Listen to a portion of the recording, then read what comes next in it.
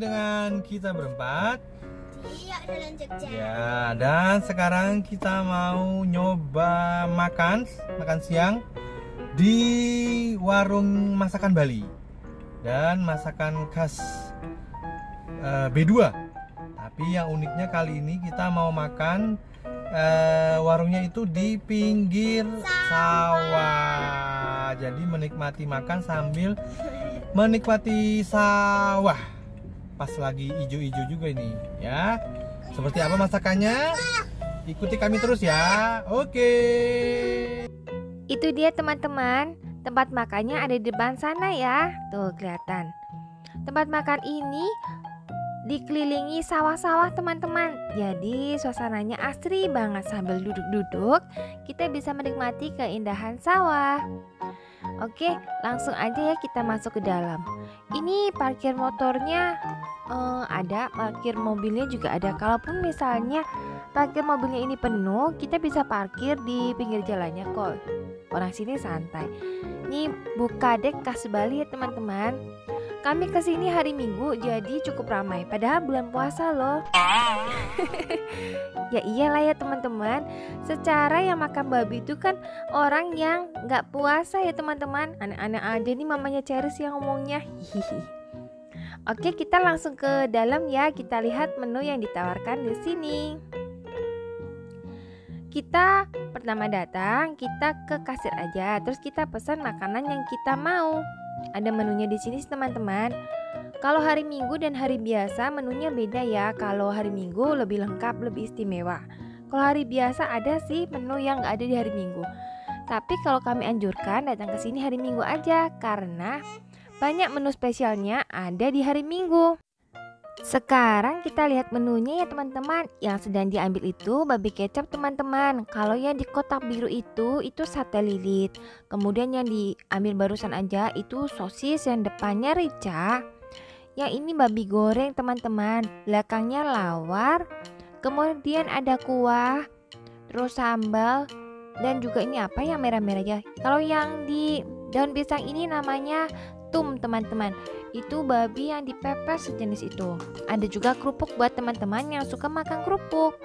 Di sini piringnya itu menggunakan anyaman jadi eh, asri banget ya teman-teman. Oh ya, ini pilihan menu yang bisa kita pilih. Ini dia teman-teman.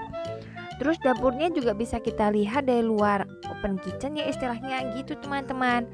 Ini nasi putih kita juga selain nasi campur kita juga bisa pesan porsian. Misalnya sate babi satu porsi rica satu porsi terus sosis satu porsi itu bisa teman-teman.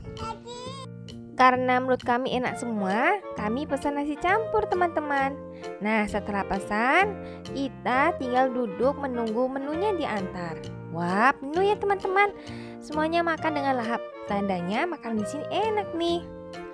Di bagian depan kita juga bisa lihat aneka menu yang ditawarkan di sini. Ini dia teman-teman, ada plecing kangkung juga, ada babi goreng, terus ada apa babi spesial, ada yang komplit rica-rica, terus biasa kecap, sosis B2 dan lain-lain teman-teman.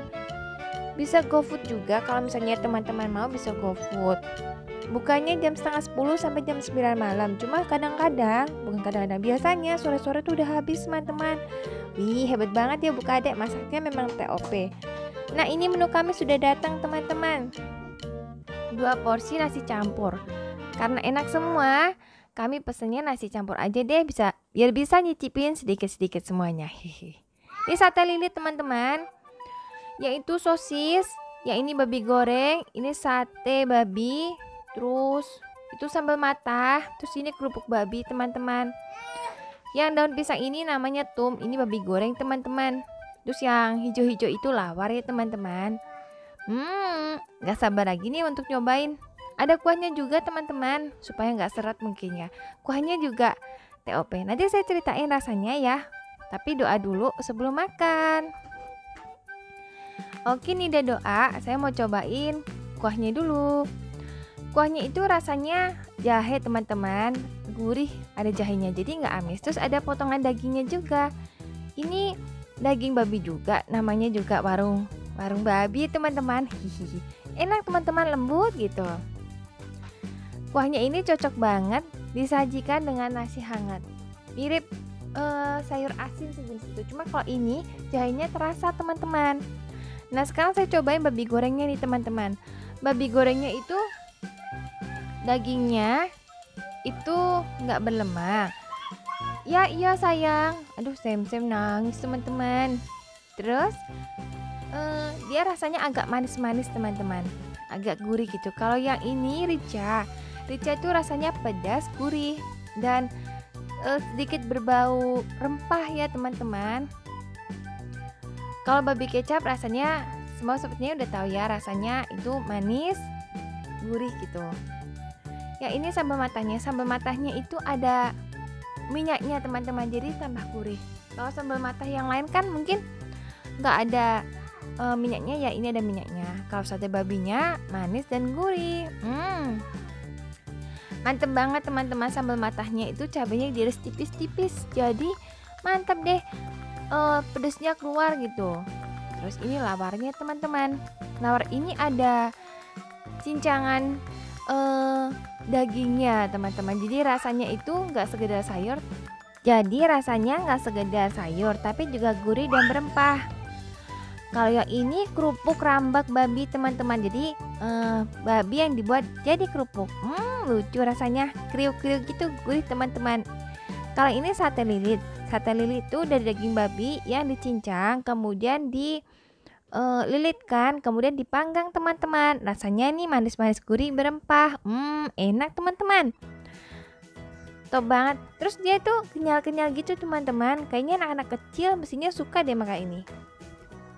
Terus yang ini adalah tum. Tum itu uh, mirip sama apa ya kalau di Indonesia itu? Eh di masakan Jawa ya jadi daging dicincang dikasih bumbu terus dikukus dibungkus daun pisang terus dikukus teman-teman cuma ini rasanya itu berempah kalau yang masakan Jawa yang begini rasanya kan santan-santan manis ya kalau ini berempah teman-teman enak teman-teman hmm Oke, semuanya TOPBGT banget deh teman-teman.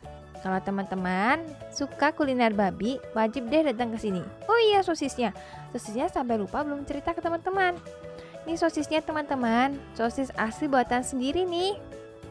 Dia tuh rasanya manis-manis dan ada rempahnya pokok. Pokoknya di sini tuh bumbu rempahnya nggak pelit, terus rasanya pas banget.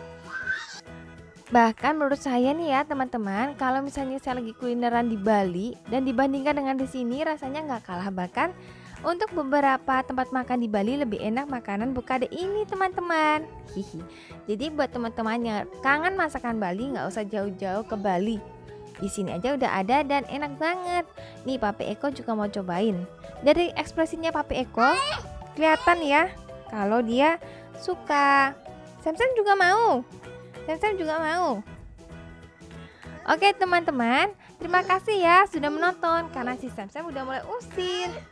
Mau? Mau? Saya mau. ya. Bye-bye teman-teman.